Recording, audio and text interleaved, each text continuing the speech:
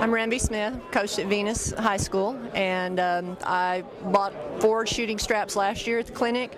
Took them home, used them on some of our kids that had a really bad habit of shooting two-handed, and it has been amazing the correction and just the reminding and emphasizing to focus on that shooting hand and not worry about the balance hand. And uh, it's the best thing I've ever found. You know, I've had them put their hand behind their back. Uh, you know, even put tape on from their forearm to their bicep, and um, this really just does the trick. It, it's just very natural, and it, it puts that hand in perfect position, and it doesn't interfere with their shot.